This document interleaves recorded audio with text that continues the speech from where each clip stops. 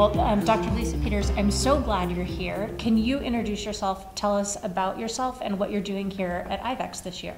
My name is Dr. Lisa Peters, and I am a criticalist. I work in private practice, and I am here speaking on stress in the emergency pr profession, and particularly suicide, how it impacts our profession, and how we can maintain resilience in the ER team. It's a brave topic to talk about. People don't like to talk about it um, and they're afraid. And I loved that we opened the dialogue by saying, hey, there's this myth that if we talk about it, we're going to cause it, we're going to make it worse.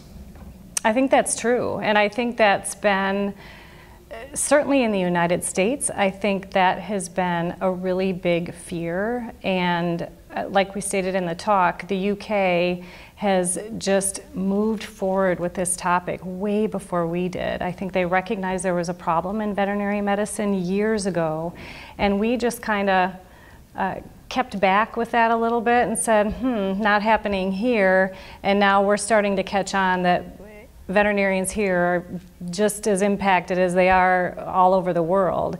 And now we're taking notice and now we're talking more about it, and I think it's so important.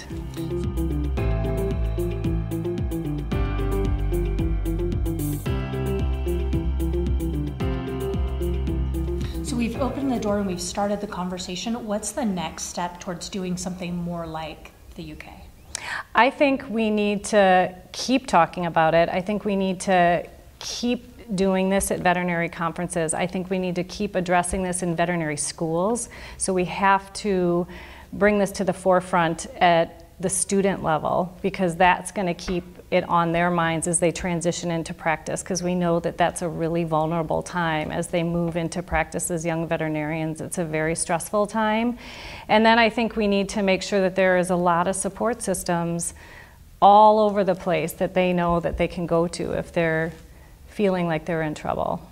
I was found the risk factors to be very interesting, and I was floored by the statistical relevance of debt mm-hmm. um, to suicide risk. Yeah, that was fascinating. yeah, so as debt increases, our suicide risk goes up, and it starts as early as veterinary school. You know, so students are stressed about the amount of debt that they have. And if they're coming with debt from undergraduate into veterinary school and then they're leaving veterinary school with, you know, 50,000, close to $100,000 worth of debt, their, their stress level really goes up. It's got to feel so helpless. And mm-hmm. that's that's that situation.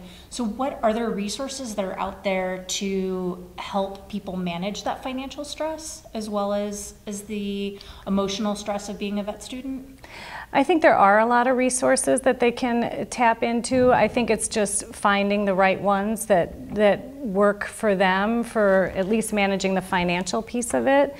Um, and I think that's just a very individual thing about how can they manage that financial piece of it. And you know, moving from veterinary school into practice, they're also looking at how am I going to even be able to afford a home.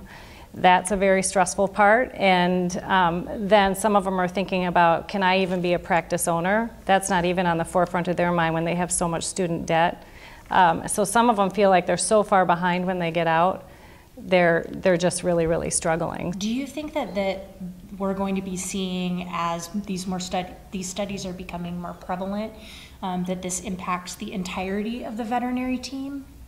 Um, I know that our technicians are coming out of school with significant debt compared to what we used to, um, and the wage ranges aren't changing significantly, and of course, cost of living. I do. I don't think anybody is immune to the stress levels in our veterinary practices. I think, you know, I think technicians are horribly underpaid. I mean, that's just my personal opinion. I think they're under the same stress level that we're under, and even the reception team. I mean, we can't forget about them and the veterinary assistants. I mean, you know, some of us, you know, even the people who are on the front lines, like the veterinary receptionists, they're sometimes the first ones to see the grieving owners and the distraught owners when they come in those doors, you know, so they're also dealing with stress. They also have to deal with the, the clients who are upset about finances. So they may be impacted a little bit differently, but they're still impacted. So even though we're talking about veterinarians, I think we have to talk about the veterinary team. So that could be future, potentially future topics that we can address here at these conferences.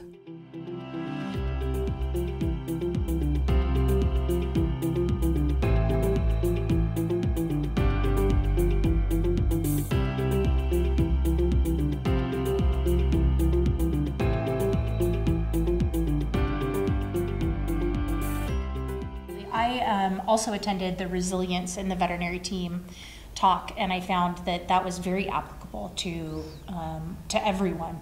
Um, again, uh, some of the takeaways from that were expressing gratitude um, every day, Every Find, finding something just anything, stopping your brain and just being grateful for something. Right, just saying thank you, thank you uh, to someone who is working really hard for you.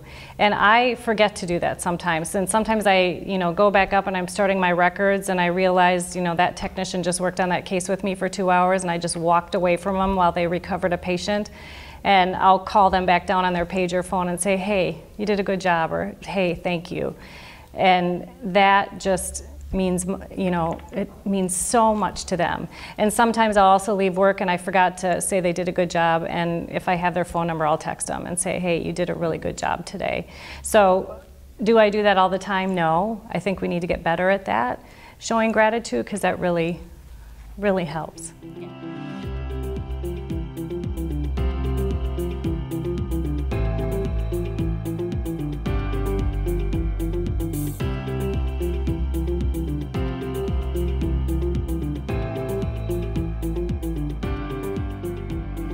In our um, ER teams. Um, so we have shift work, um, we have pressure. How do we tell someone that we're seeing, hey, it looks like you're struggling, why don't you take a five minute break? And they're like, I'm not going to do that. How do we really encourage that? What do we do? I think that's hard to do because um, certainly when they say that to you, they don't. They might get embarrassed or they might say, you know, I'm doing fine because they don't want to show their coworkers that they're not doing fine. I have sometimes gone into another room, and if they're in a room where there's a phone, I'll call down and say, Hey, is so and so there? and talk to them and say, Hey, I need you. Can you come up and talk to me? So I've actually pulled them out of a situation where they're in front of other people and said, Come up and sit by me for a few minutes and have them just come sit by me and I'll, you know, address it one on one. So addressing it in front of others is, is not usually a good thing to do uh, from what I've found. And trying to just pull them out of that situation as a one on one and giving them time to just sit in silence.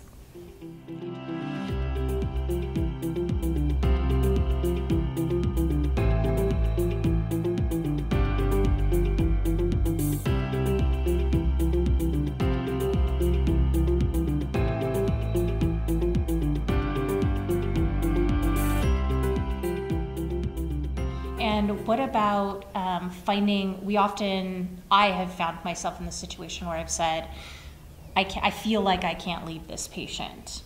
How do I get to a place where I personally can walk away? Yeah, I mean that's us admitting, hey, I'm out. I need I need a break, and that's finding it within ourselves to say, I'm probably not doing a good job right now. If I really am to the point where I need a break, and so I oftentimes think about, I don't think this patient is going to do very well if I'm not doing very well. So you need somebody to relieve you. And so that's just finding it within yourself to, to, to muster up and say, I, I need some help because this, I'm not serving this patient well and I need to go take five. How do we teach self awareness to our team? That's tough. that's, a, that's, tough. I think I think it has to be through education, right? I think education is the best thing that we can do. And so if if we don't personally don't have the tools to teach self-awareness then we find somebody who does you know so do research within your community and say who can come in and teach us some self-awareness tactics you know and there are so many people who are willing to come in and, and coach your team you know on some of these on some of these tools. And I think just looking around your community to find out who can come in, I think is so valuable. I was really surprised by the warning signs um, about um, lack of resilience that were mentioned. So, um, being confused. Um, I realize that I often say, I'm sorry, I didn't understand that, and um, wonder if that isn't mental fatigue. I agree with you, or being forgetful all the time. Like I feel like I'm developed, me personally, the same thing. Sometimes I feel like, am I, do I have a disorder? Like, do I need to go to a neurologist because I have just forgotten the case I saw that morning? Someone will bring up a name of a patient, and you think, did I see that case today? And then I'm thinking, oh my gosh, I, I might have a disorder right now. And so then that is telling me to myself that I may not be doing very well right now. I am a little on overload and I need to take a step back. And, and so I think part of that, when you start seeing some of those warning signs, now that we know what they are, is doing those self checks. Yeah. And saying, I heard something about that, I need to do a self check and take a step back.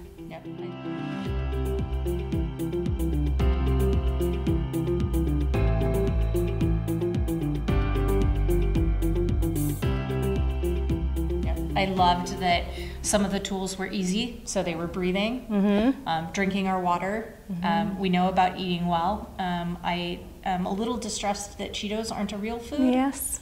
And, and Mountain, are And Mountain sure Dew, Mountain we're Dew sure isn't- Mountain Dew doesn't fit in this. Oh, that's, I'm really disappointed.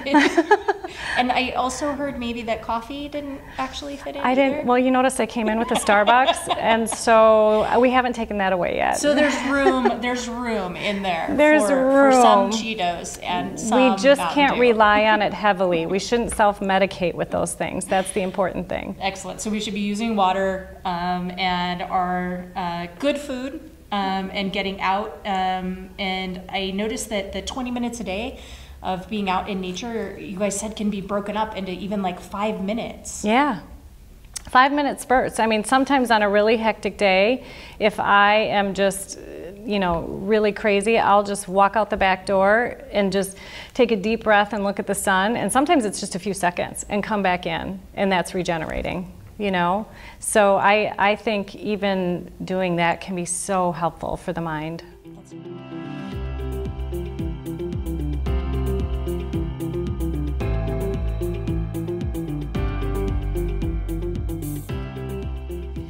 So, talking about resilience and about tools that we can use um, and using gratitude, um, we're eating right, we're staying hydrated, we're doing all of these things, um, and we're still struggling. What is um, what's the next step? Do we do we have resources that we should be reaching out to? Is it better to reach out to a coworker, a family member? Where do we go? I think reaching out to someone, whoever you feel most comfortable with, is what's most important. That you're just getting in touch with someone and letting them know that you're struggling and things aren't going well and you need help. And, and, it, and that you're having a hard time finding where to go and that someone will help you find a place to go. Some businesses have EPA or other services that they can help direct them to. And uh, personally, we brought up a good point in the lecture today that sometimes you don't even know, even if you get that piece of paper that says, here's the phone number to go to EPA, recognizing that sometimes they can't even pick up the phone to call and say, saying to that person, you know what, I'll go with you. I'll drop you off. I'll drive you. I'll take you or I'll make that phone call for you. That can help a person who's really, really having a tough time. I loved that um, combination of let's empower the person, um, but be there with them. Mm-hmm. So they're still taking that step, but they're not doing it alone. Correct. And definitely in those feel- times, we definitely feel very isolated. I agree with you. I found the breakdown of the differences in um, chronic stress and compassion fatigue um, and suicidal ideation to be very interesting. Um, I kind of thought of them um, as all one continuum, and it looks like they're very different um, when you the way you guys broke it down. Am I misreading that? No, you're not misreading it at all. I, it is not a continuum. I think they're all, Janine really highlighted the differences between burnout, compassion fatigue, and depression. So, no, it's not a continuum. And sometimes you can be stuck just in one of those. And so it's not like you go from burnout to compassion fatigue to depression. So Um, I think it was a very clear distinction between all three of those, and I think that that is uh, that's important. It's important to understand and try to find out where am I fitting in that, and uh, really just mostly recognizing that I'm not well. You know, right now things aren't going that well, and what can I do to help try to change that? Thank you so much for coming in and talking to us. Felt like I walked out of your lectures knowing that there's hope and knowing that there's a group of people who really care and that we are going to come to a place where we can have these conversations openly and honestly and we can slow this horrible progression. Oh, thank you. We really want to make a difference, so. I think that you guys Thank did. you. Just even in the lecture, just opening it up. I know that there were people um, in that lecture who were touched personally, Mm-hmm. um, who just being in that room, knowing that someone cared about them enough to talk at a conference, made a difference. Oh, thank you so much. You're so welcome. Thank you again.